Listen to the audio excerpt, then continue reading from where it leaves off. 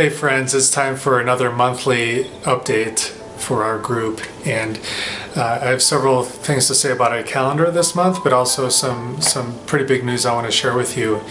And the first thing is that we have a community event finally coming up at the end of the month and that's going to be on Sunday the 27th starting at uh, 10 o'clock in the morning and it's going to be at the Denver Botanic Gardens on York Street. And it's just a chance for us to get together, have coffee together, um, or walk around. We'll see who shows up and how we feel and what the weather's doing.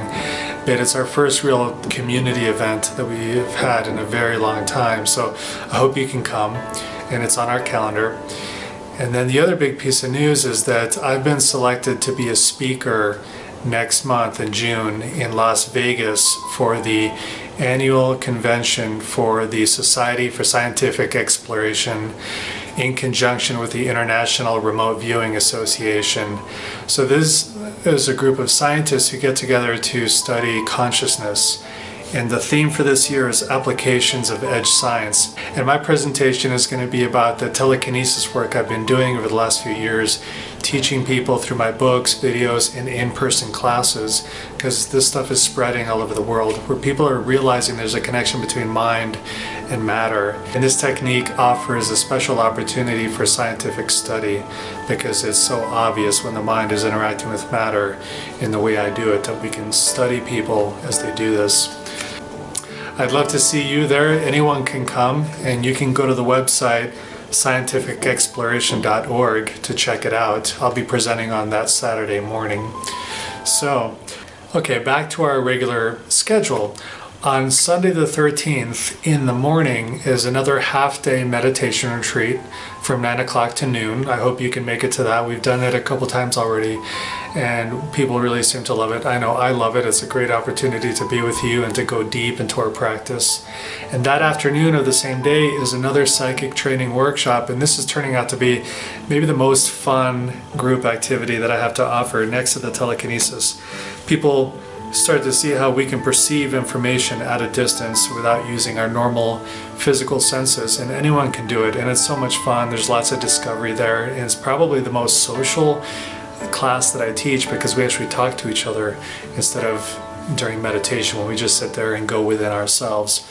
So if you haven't done it yet I recommend trying that out. That's on the afternoon of the 13th also on Saturday, May 19th at Isis Bookstore, I'm leading another lucid dream and out-of-body experience workshop and that's from 1 o'clock to 6 o'clock although we probably won't use all five hours but we'll at least go four and a half hours together.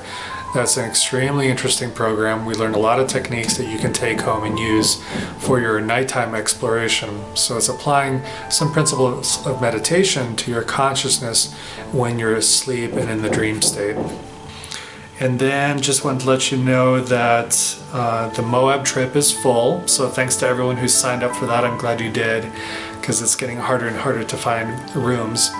And Sierra and I just came back from there and it was just, just perfect. And in October it'll be the same way, I believe. So Another thing is if you want other ways to put my events on your calendar, you could either visit, I have two meetup pages, one for the psychic work, another one for the meditation stuff, so that when you RSVP for one of those events, I think there's a way to make it go to your calendar on your phone. The other way is to like one of my pages on Facebook. So I have a page for guided meditation with Sean McNamara and another one called Mind Possible Consciousness Exploration. And I'm going to start posting the same events that are on my website on the Facebook page and on the meetup pages. So if you like either of those pages, you can start to use them as your calendar as well. If you have any questions or comments or see any way that I can improve how I communicate with you or the kinds of events we do, please let me know. You can always contact me through the website. Other than that, have a wonderful May.